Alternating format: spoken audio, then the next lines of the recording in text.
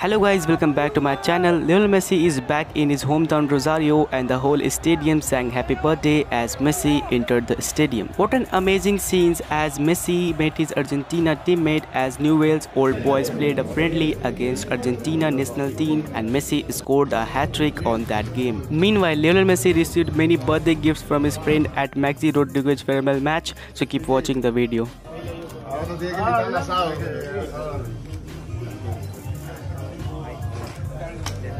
Con las copas.